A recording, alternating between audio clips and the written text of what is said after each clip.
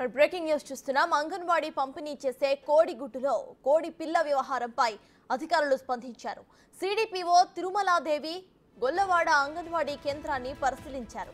రికార్డుల ప్రకారం గత నెల ఎనిమిదవ తేదీన లబ్ధిదారులు గుడ్డును తీసుకువెళ్ళారని అన్నారు. జూన్ ముప్పైన గుడ్డును ఉపయోగించారని అన్నారు. కేవలం పదిహేను రోజులలోపే గుడ్డును ఉపయోగించాలని లేటుగా వారటం వల్ల కోడిగుడ్డు కుళ్ళిపోయిందని అందులో కోడిపిల్ల లేదని అధికారులు వివరణ ఇచ్చారు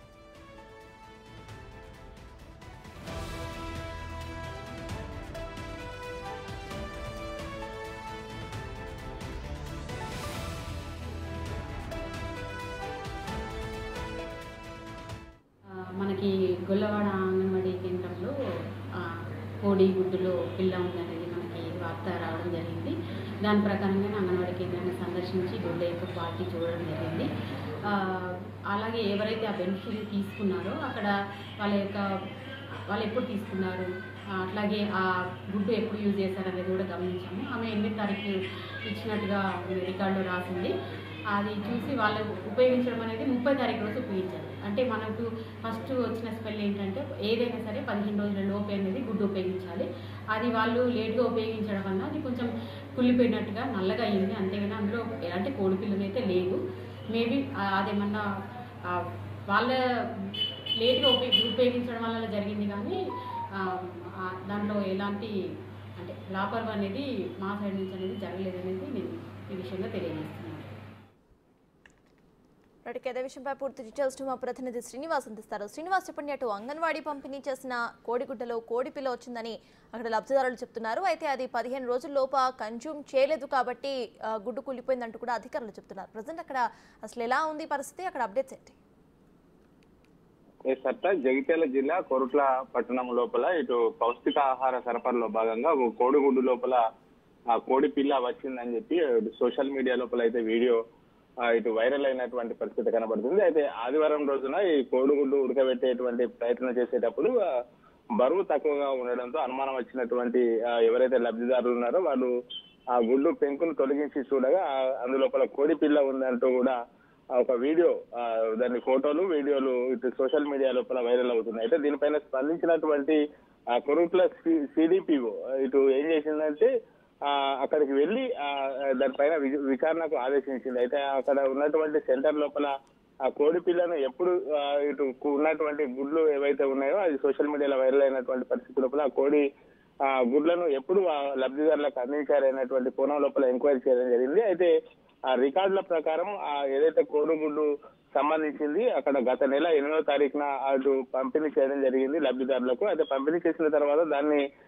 పది పదిహేను రోజుల లోపలనే ఆ కోడిగుడ్డును వాడాల్సినటువంటి అవసరం ఉంటుంది. కానీ తన ఇంట్లో ఉన్నటువంటి నేపథ్యం లోపల ఈ నెల ముప్పైన ఆ కోడిగుడ్డును ఉడకబెట్టేటువంటి ప్రయత్నం చేశారు.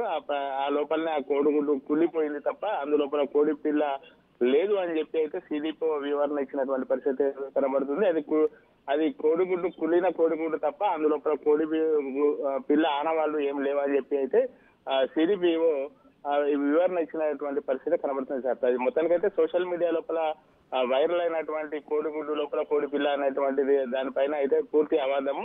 అందులోపల కులిన కోడిగుడ్లే తప్ప అది పదిహేను రోజులు మించి వాడకపోవడం వల్లనే కోడిగుడ్లు కులిపోయినాయి అనేది సిడిపి వివరణ ఇచ్చినటువంటి పరిస్థితి కనబడుతుంది sir. Parimala thank you Srinivas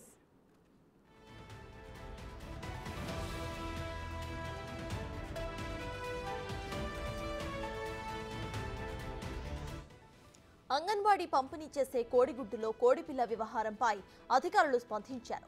CPDO Tirumaladevi Gollawada anganwadi కేంద్రాన్ని పరిశీలించారు. రికార్డుల ప్రకారం గత నెల ఎనిమిదవ తేదీన లబ్ధిదారుడు గుడ్డును తీసుకువెళ్ళారని అన్నారు. జూన్ ముప్పైన గుడ్డును ఉపయోగించారని అన్నారు. కేవలం పదిహేను రోజుల లోపే గుడ్డును ఉపయోగించాలి కానీ లేటుగా వారటం వల్ల కోడిగుడ్డు కూలిపోయిందని అందులో కోడిపిల్ల లేదని అధికారులు వివరణ ఇచ్చారు.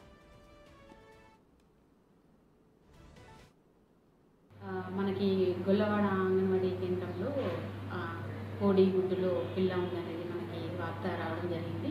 దాని ప్రకారంగా అంగన్వాడీ కేంద్రాన్ని సందర్శించి గుడ్ల యొక్క పార్టీ చూడడం జరిగింది. అలాగే ఎవరైతే ఆ బెనిఫిషరీ తీసుకున్నారో అక్కడ వాళ్ళ యొక్క వాళ్ళు ఎప్పుడు తీసుకున్నారు అట్లాగే ఆ గుడ్డు ఎప్పుడు యూజ్ చేశారనేది కూడా గమనించాము. ఆమె ఎనిమిది తారీఖు ఇచ్చినట్టుగా రికార్డులో రాసింది. అది చూసి వాళ్ళు ఉపయోగించడం అనేది ముప్పై తారీఖు రోజు ఉపయోగించారు అంటే మనకు ఫస్ట్ వచ్చిన స్పెల్ ఏంటంటే ఏదైనా సరే పదిహేను రోజుల లోపే అనేది గుడ్డు ఉపయోగించాలి. అది వాళ్ళు లేట్గా ఉపయోగించడం వల్ల అది కొంచెం కుళ్ళిపోయినట్టుగా నల్లగా అయింది. అంతేగాని అందులో ఎలాంటి కోడి పిల్లలు అయితే లేవు.